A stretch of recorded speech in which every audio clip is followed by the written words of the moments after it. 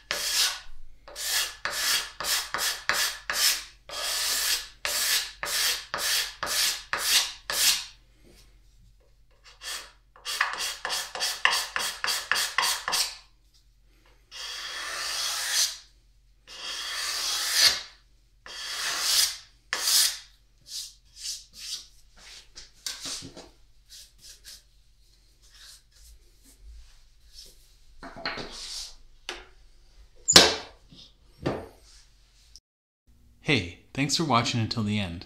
This is the end of part 2 for the Sawvice build. I'm new here, so if you like this, drop me a like, and subscribe if you want to follow along for part 3. Cheers, guys.